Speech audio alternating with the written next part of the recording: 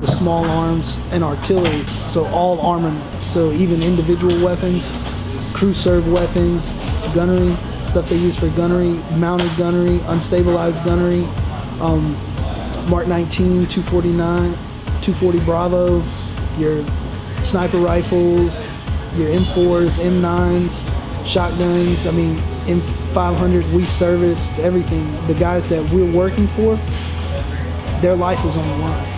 So we take our job very seriously.